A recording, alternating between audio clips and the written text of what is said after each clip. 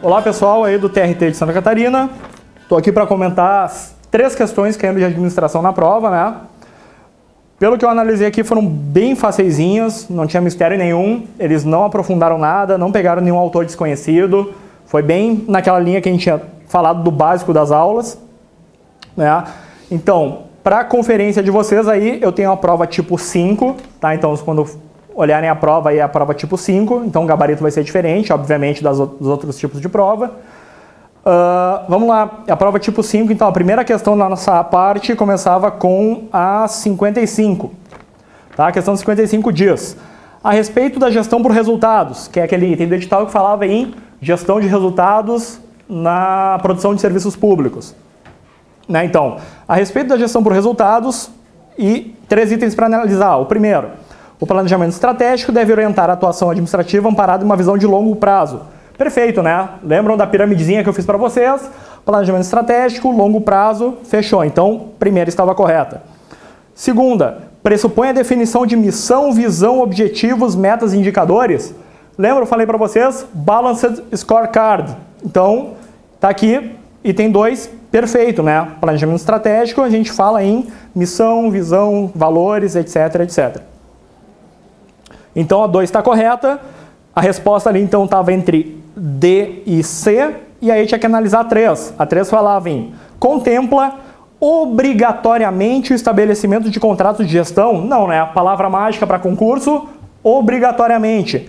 Então, na gestão por resultados, tu obrigatoriamente tem que ter contrato de gestão? Não, né? Então, errada.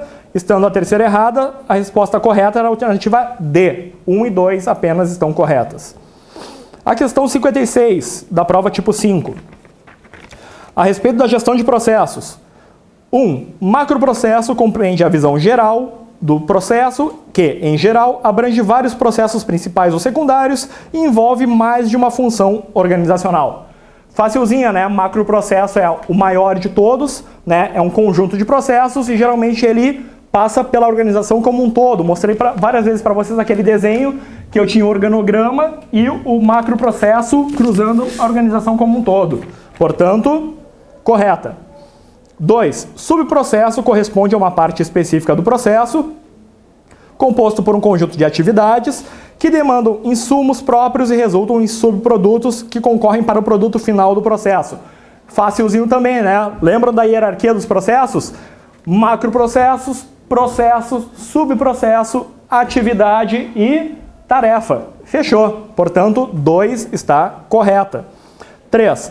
Tarefa é a menor divisão do trabalho, exclusivamente operacional, que corresponde ao fazer, sendo uma partição da atividade com rotina ou, ou procedimento específico. Acabei de falar para vocês, né? Qual é o nível mais baixo aqui? Tarefa. Tarefa é o operacional, portanto, correta. Estando as três corretas, a resposta era C, 1, 2 e 3. E a última questão da prova tipo 5 também falava de administração, eu falei para vocês que ia cair uma pergunta sobre a resolução 70 do CNJ, né? Tá aqui ela. Então, a resolução 70 não se insere nos atributos de valor. Vamos lá, atributos de valor do judiciário. Responsabilidade social? Sim.